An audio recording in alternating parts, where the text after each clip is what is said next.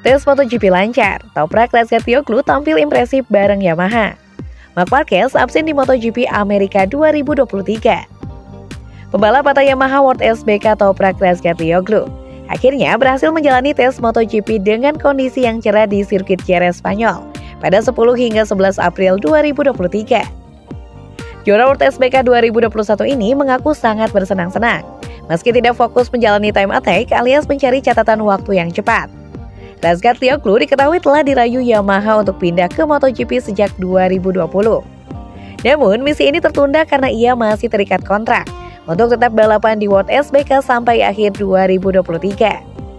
Meski begitu, Yamaha sempat memberinya kans menjalani tes di atas motor MotoGP mereka YZR M1 di Aragon, Spanyol pada Juni 2022.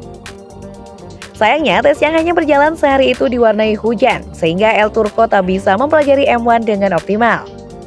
Beruntung, Yamaha memberikan tes kedua di Jerez tahun ini. Dalam tes tersebut, ia berkendara dengan para tes rider MotoGP lainnya, termasuk tes rider Yamaha sendiri Carl Krutlow. Rizky Rioglu menjalani total 63 lap dalam tes ini, dengan catatan di bawah 1 menit 40 detik.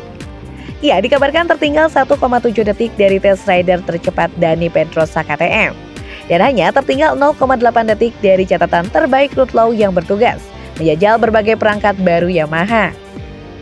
Mark Marquez juga dipastikan absen di seri ketiga MotoGP 2023 yang diselenggarakan di Amerika Serikat. Marquez masih dalam proses pemulihan cedera yang dialaminya sejak seri perdana. Lalu, bagaimana pula nasib hukuman double long lap penalti Marquez? MotoGP 2023 akhir pekan ini akan diselenggarakan di Circuit of the Americas atau Chota, Texas, Amerika Serikat. MotoGP Amerika 2023 dilaksanakan pada 14 sampai 16 April 2023. Marquez yang sebelumnya sudah absen di seri Argentina, kali ini dipastikan absen lagi dari seri balap Amerika. Rider Repsol Honda itu mengalami patah tulang di ibu jari kanannya usai tabrakan dengan Miguel Oliveira di seri Portugal. Marquez harus beristirahat lebih lama agar cederanya pulih benar.